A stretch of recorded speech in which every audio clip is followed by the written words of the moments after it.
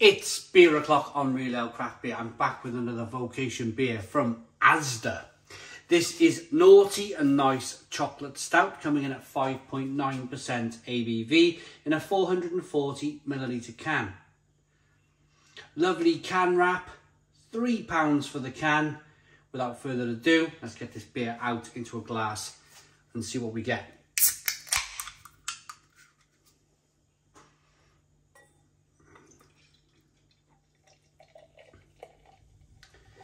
Beer in the glass. It's created a four, three to four finger tan coloured head. Initially, uh, my first thought was, and have a look at the liquid, I thought it looked a little bit thin. But the way it developed that head, I'm starting to have second thoughts.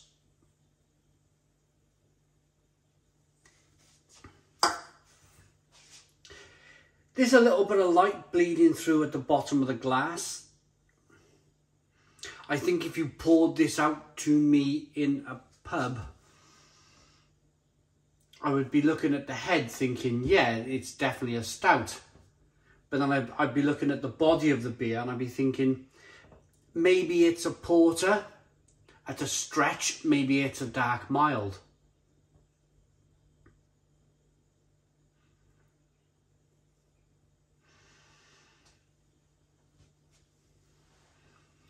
Naughty and nice chocolate stout. Let's get the aroma on this beer then.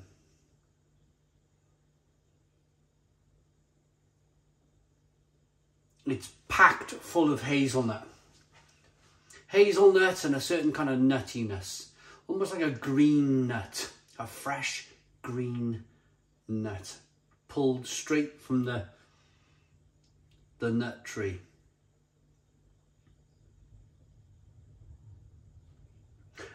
The first time I, I experienced an aroma like this before was from a beer from Thornbridge Brewery. They brewed a peanut, a peanut beer, which was just outstanding. It was a dark ale, I think it might have been a stout or a porter. But they produced this peanut beer which blew my mind, absolutely blew my mind. And of course, when a brewery does that sort of thing, other brewers are looking, other brewers are watching, other brewers are tasting, and they're saying, we'll have a little bit of that.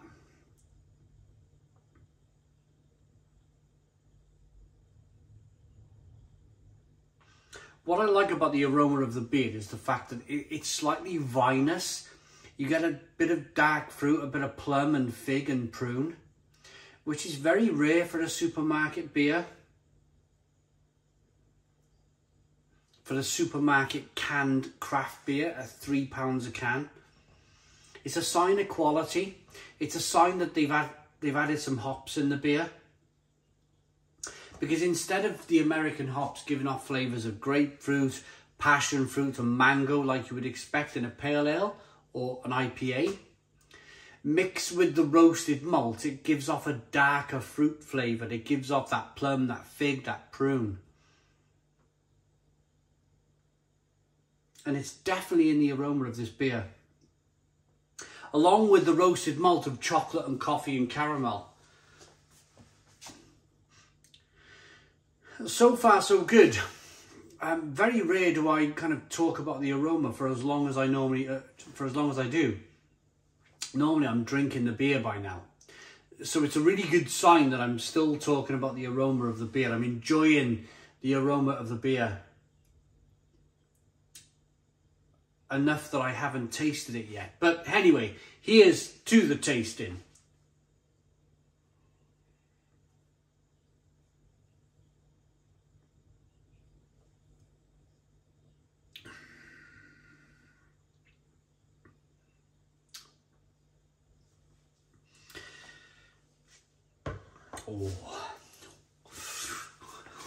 Oh, that's um, that's good.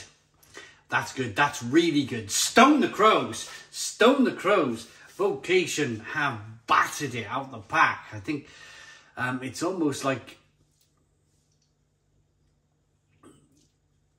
the opportunity to produce fantastic beer with Asda was just, it was just too much to ignore. It was too much to, the opportunity, Vocation Brewery. Let's talk about Vocation first and foremost. Of course, first of all, actually, let me talk about the flavour of the beer.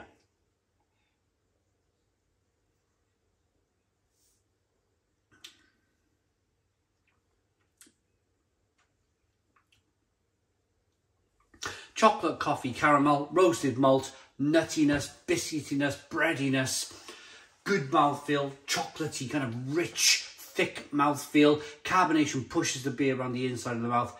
It's fantastic. Absolutely fantastic. Those those hops in the beer, they're giving off flavours of plum and fig and prune. There's a little bit of sweetness from the light malt that's in the beer. This is wonderful. It really is. I'm going to give you the reason why this beer is so wonderful. Vocation Brewery. Just another brewery in the UK seven or eight years ago. They weren't kind of making great strides. They weren't kind of really doing anything until they started producing beer for the supermarket and they concentrated everything on producing beers for supermarkets. And I think Vocation were the first brewery in the UK to fully understand the leverage, the growth that they could get as a company from working with supermarkets. So forgive me, but I think that they produced a milk stout for Asda for a number of years. They were almost like producing like Asda owned beers for a while. Um, but slightly before that, they were working with Tesco. They were putting beers into Tesco. They were concentrating on on on, on the Tesco beers. Uh, but the two name beers, so Naughty and Nice, um, Life and Death, Love and Hate, it was always a two barrel word name for their beers, which is pretty cool. Pretty cool. And then the breakout moment happened with Tesco when they produced the Blueberry Waffle Stout. My goodness me. That was the, for me personally, that was the breakout moment. That was the moment where I went, oh my goodness me, vocation and doing something really, really special here. Um, it was £3 a can. It was something like 6 or 7% ABV. Um, it was exactly what I'm tasting here today in terms of quality. Not quite same flavours, but quality from a Tesco beer. And it was downright exciting. It really was to be able to go, my goodness me, finally the supermarkets get it. They get it they can produce decent craft beer at £3 a can. Everybody's happy. Everybody's who, who is interested in buying supermarket craft beer is happy because they get to taste, something pretty decent and have a variety of flavours, a variety of styles that they can buy in the supermarket.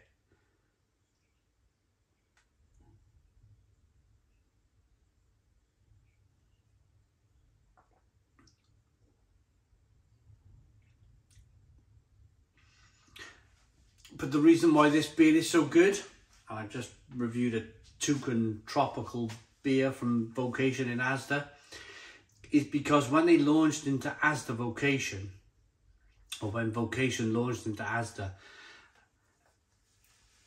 they didn't get off to the right start. Um, for whatever reason, there was a beer launched into Asda called Perfect Storm uh, from Vocation that was just not right. I haven't bought it since I've not bought that beer in a year. From 2021 to 2022, I bought the beer once. I've not bought it since. Um, but that beer was just not right. It was, it was just tasting terrible. I reviewed it. Lots of other people reviewed it, drank it, rated it on Untappd. And that was the first time I think Vocation, after all that fantastic growth, all that fantastic kind of growth via supermarkets, because they, they since launched in Morrison's and they launched in Sainsbury's. Uh, I think they even launched in, in, in Waitrose maybe. But anyway, they finally launched into Asda. And it was the first disaster that I think Vocation had along the way. It was the first time where alarm bells went off at Vocation HQ, where they thought, oh my goodness me, what's happened? What's happened to this beer? Why is this beer? Are we rushing ahead too much? Do we need to take a step back? Do we need to make sure the beers are perfect? And I think they they've taken that step back. They've looked at what happened with the first beer in Asda and they've taken that same approach that they took with Tesco in that if we launch quality beer amazingly great quality beer, then then the brand will grow so they went back to the drawing board they put this toucan beer into bouquet uh, into Asda which is terrific it really is see if you can find it it's a special edition beer. Followed up by this beer, this Vocation Naughty and Nice Chocolate Stout. This is good. This is really good. Well worth your three pound a can. And, it, and basically, it puts Vocation on that same trajectory.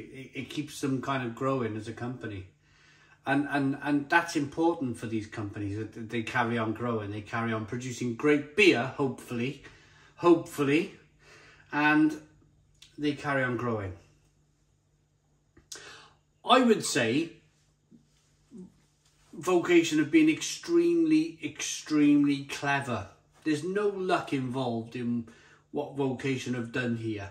I think they've just been fantastically clever.